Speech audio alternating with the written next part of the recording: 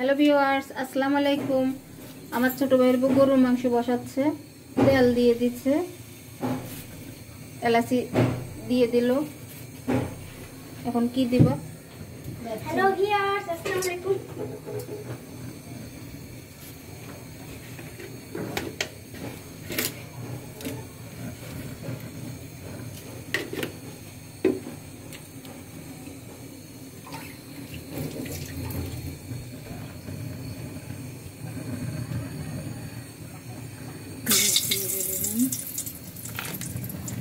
প্যাকেটে করে রাখছিলাম না কি কি? পেঁয়াজ রসুন। না সমস্যা নেই দাও।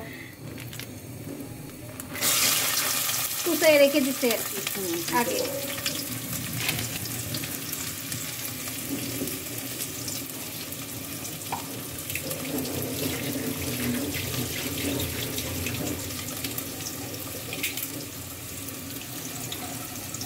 তেজপাতা দিয়ে দিল।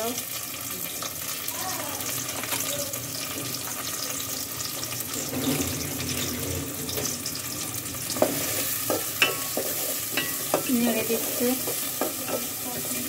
এক একজন এক এক সিস্টেমে রান্না হ্যাঁ করে এক একজন এক এক সিস্টেমের রান্না। কোনো সমস্যা নেই। সব রান্নাই খাওয়া যায়। হালাল সব জিনিসে খাওয়া যায়। সমস্যা নেই। মুসলিম হালাল জিনিস সবই খেতে পারে।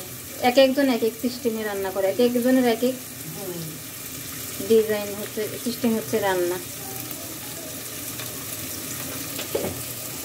কেউ গরু মাংস হাত দিয়ে সব মশলা দেখো না সময় নাই তো ইচ্ছা যাদের। পছন্দ এটা যেমন আমি কি করি? প্রথমে গরুর মাংসটা একটু প্রেশার কুকারে হলুদ মরিচ লবণ এগুলো দিয়ে শুধু আমি সেদ্ধ করে সিদ্ধ করে নিই। দাদু দেখতে এরপরে আমি এরকম পেঁয়াজ গরম মশলা সব দিয়ে তারপরে আমি কষায়ে তারপরে আমি মাংসটা তেল দিই খারাপ হয় না ওটাও তো অনেক ভালো। যখন ব্রাউন কালার হবে তখন মাংসটা একেবারে পেস্টটা পুরো ব্রাউন কালার হয়। গরুর মাংসটা দেখবে একটু খয়েরি খয়েরি কালার হলো না দেখতে যত সুন্দর খেতে তত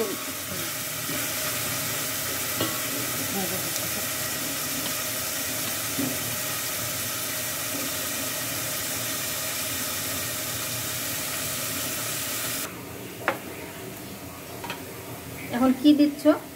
আদা বাটা দিয়ে দিচ্ছি। আদা। দেখে যেতে হবে।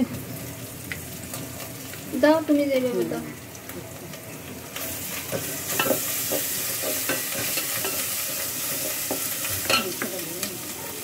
আজকে মাংস দিয়ে দিচ্ছে।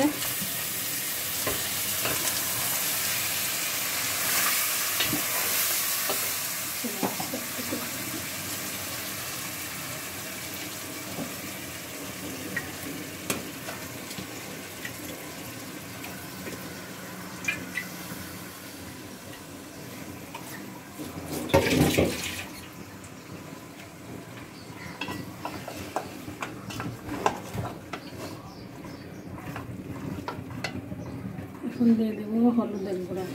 হলুদের গুঁড়ো।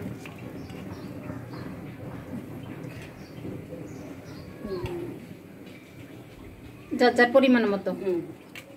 যার যার পছন্দ মতো পরিমাণ মতো। লাগলে আবার দিব। হ্যাঁ হ্যাঁ লাগলে। মরিচের গুঁড়ো। জাল সবাই হ্যাঁ জাল। সব যার যার পছন্দ মতো যে যেমন পছন্দ করে যে ফ্যামিলিতে যেমন জাল খায় জিরার গুঁড়া মনে হয়। ধনিয়া। ধনিয়ার গুঁড়া? আচ্ছা।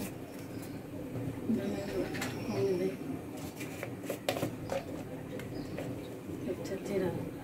জিরার গুঁড়া দেওয়া হচ্ছে পারি নামানে রাখি দে হুম।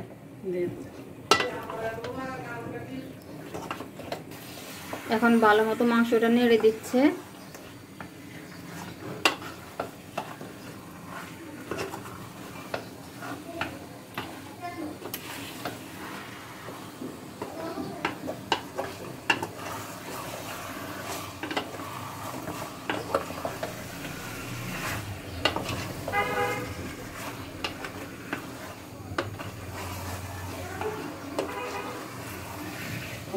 লাগবে। গুঁড়া করে রাখছিলাম। একটু গোলমরিচের গুঁড়া দিচ্ছে এখন। জিরার ভিতরে গোলমরিচ দেওয়া ছিল তো। একটা আলাদা অল্প করে দিয়ে দিলাম।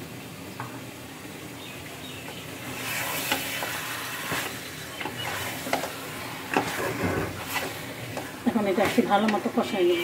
কষায় তারপরে এটা থেকে তো একটা জল উঠবে না? ঝোল উঠবে তারপরে ওই ঝোলটা শুকানোর পরে প্রেশার কুকারে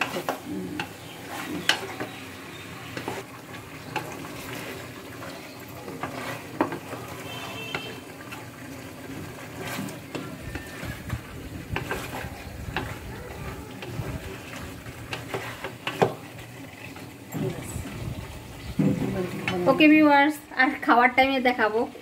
ওকে ভালো থাকেন। আল্লাহ হাফেজ।